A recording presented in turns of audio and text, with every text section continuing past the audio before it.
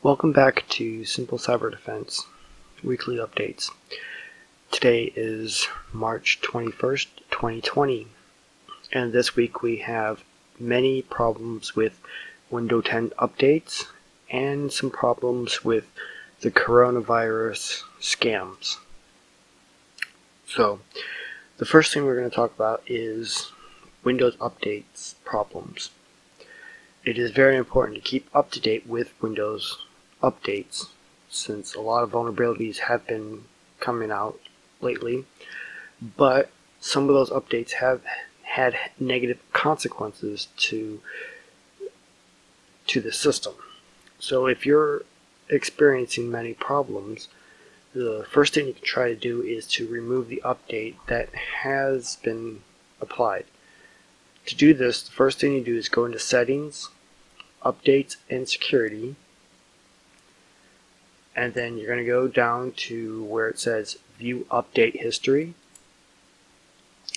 and then you're going to click on the uninstall updates and what you do now is just remove Microsoft updates from the newest one all the way to the previous one until your system goes back to the way it normally runs. One side caution is some of the updates have been known to delete user data permanently. So before installing any update from Microsoft, I suggest that you back up all important documents to an external hard drive or to a cloud storage. That way, if an update does delete your files, you do have backup. Now that was all for the window update problems.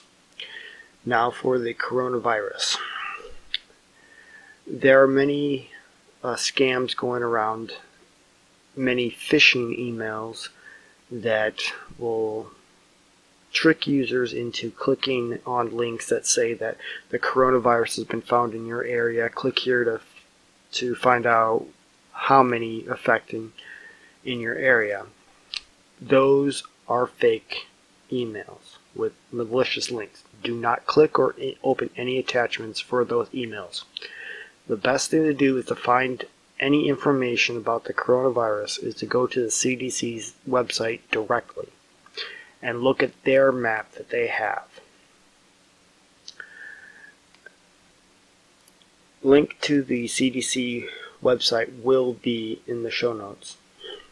Another thing is many apps are being popping up in Android and iOS marketplaces showing fake apps that claim to show you a coronavirus mapping. These are all fake. They will steal data from your phone.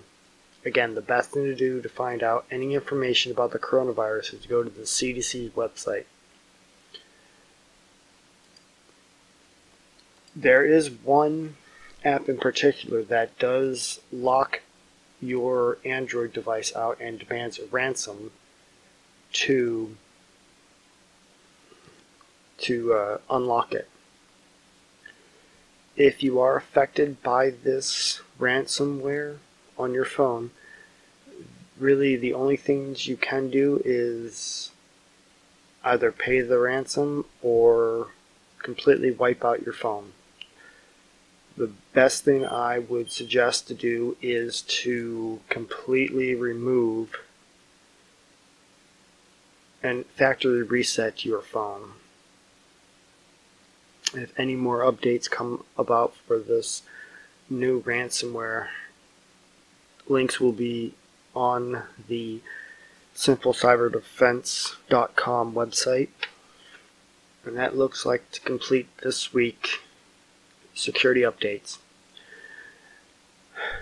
Just remember, times are tough for everyone, and the best thing to do is not panic and to stay diligent.